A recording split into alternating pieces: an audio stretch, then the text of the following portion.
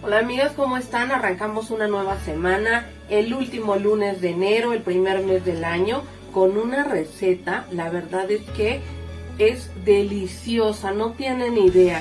¿Y qué es, qué es esta receta? En la miniatura ya vemos, se llaman tacos envenenados.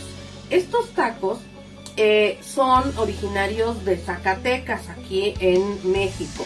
Y una de las, de las leyendas que surge de estos tacos envenenados es que por allá de los 50, alguien que vendía estos tacos, cada que le preguntaban, como era un señor eh, bastante enojón, cada que le decían, oiga, ¿qué tienen los tacos que están tan deliciosos? Él decía veneno y veneno y entonces este, les empezaron a decir así, tacos envenenados.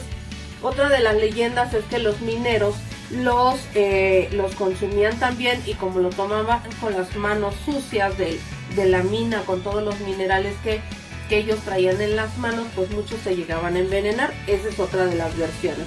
La verdad es que eh, pues no, no sabremos realmente cuál es la real, pero la verdad es que son deliciosos. Miren, son unos tacos, tal vez aquí en el centro del país no estamos acostumbrados a ver que eh, van a decir, bueno, es una quesadilla bueno, pero para no, en Zacatecas son tacos y están dorados. Yo les puse aquí jitomate para que lo vean. Pero es como una quesadilla, está doradita y tiene un relleno, la verdad, bien rico y son bien fáciles. Entonces, les voy a decir cuáles son los ingredientes que lleva estos tacos envenenados. Lleva chorizo o longaniza, que yo ya la tengo aquí frita Lleva también frijoles, los que ustedes quieran, que ya cocí de manera normal en mi olla. Ya los tengo aquí, les escurrí el caldo. Tengo también papa hervida, yo ya la tengo aquí, la corté en cubos y la cocí en agua con un poquitito de sal. Y lo voy a revolver aquí con mi chorizo o longaniza, lo que ustedes elijan.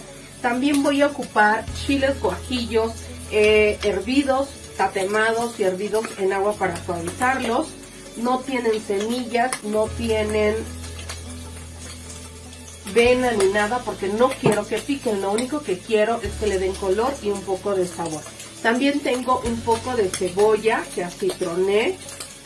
Es una cebollita que está doradita y la voy a agregar aquí a los frijoles. Vamos a mover. Aquí es importante que la papa, ya que tienen cocida su longaniza o su chorizo, vaya aplastada. Bien aplastadita, bien integrada. Porque con todo esto vamos a hacer una pasta. Así es que su papa debe de estar también ya muy suavecita. Vamos a mezclar, déjenme para apoyarme. Vamos a también necesitar queso. ¿De cuál queso? Puede ser Oaxaca, de manera tradicional puede ser un tipo Chihuahua, un tipo manchego, es al gusto, uno que gratine. Entonces yo ya tengo aquí mi papa. Y lo que voy a hacer con mis frijoles y los chiles guajillo, la cebolla, es que los voy a moler con muy poquito, con muy poquito líquido, porque lo que voy a querer es una pasta.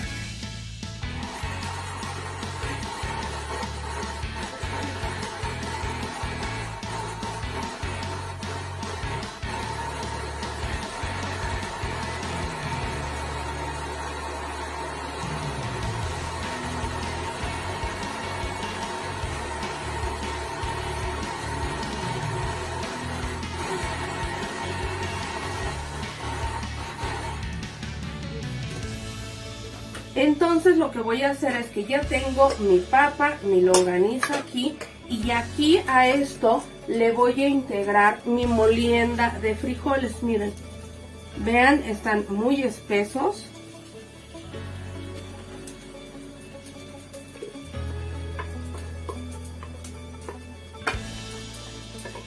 Y lo voy a integrar.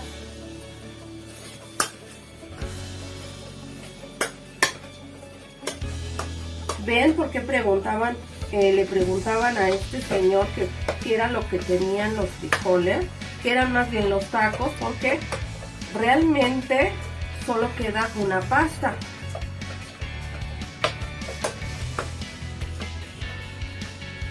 Esto lo vamos a sazonar muy bien. Aunque ya todo está cocido, ya nada más para integrar.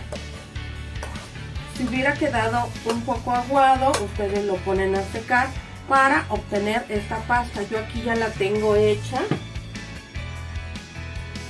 Y miren, es una pastita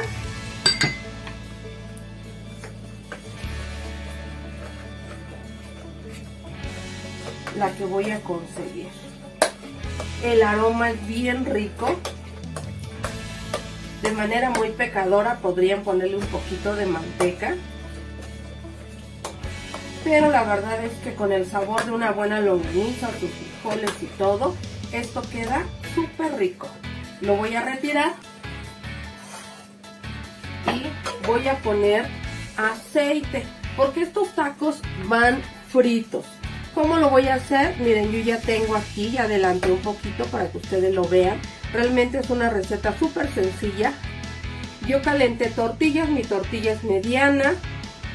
Le puse la mezcla de los frijoles y una rebanadita de queso. Y este taco, así como lo tengo yo, lo voy a llevar a freír. Lo pueden hacer a fritura profunda, como ustedes normalmente hacen sus tacos dorados. Yo la verdad uso poco aceite. Pero sí para que eneva la tortilla y se pueda dorar. Vamos a esperar, debe de estar bien caliente el aceite. Recuerden que cuando nosotros metemos una fritura, el aceite debe de estar muy caliente. Porque si está frío, entonces el producto que nosotros vamos a freír va a absorber demasiada grasa. Entonces no, eso lo vamos a evitar tratando de que el aceite esté bien, bien caliente. Igualmente para servirlo hay muchas formas. La verdad es que hay quien les pone ensalada, hacen una ensalada de col con pepino, jitomate y cilantro y una salsa.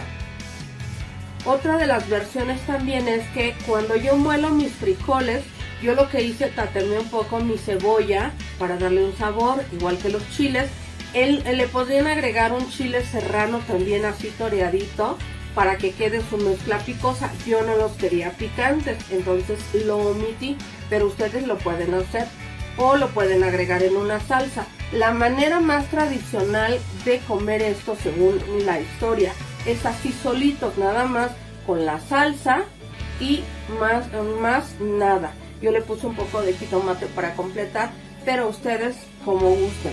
Les decía, pueden agregar esa ensalada de col o repollo, como le llaman por allá, o en algunos estados de lugares de la República.